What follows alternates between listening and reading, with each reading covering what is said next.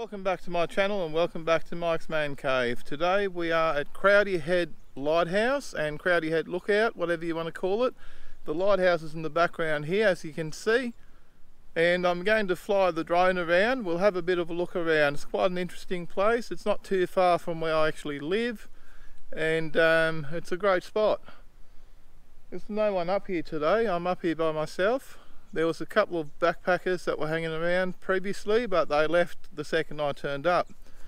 Not sure if I look that scary, but anyway, let's have a bit of a look around.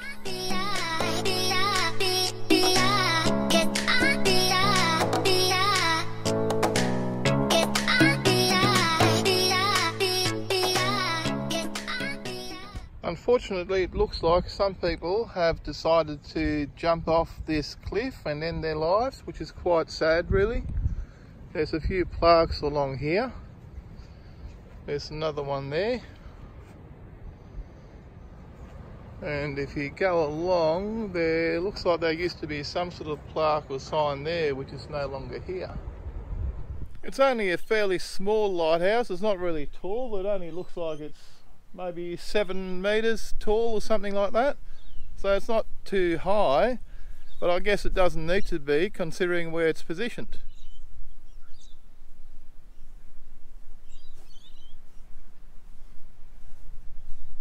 Let's not waste any more time. Let's get the drone up in the air so we can have a better look around.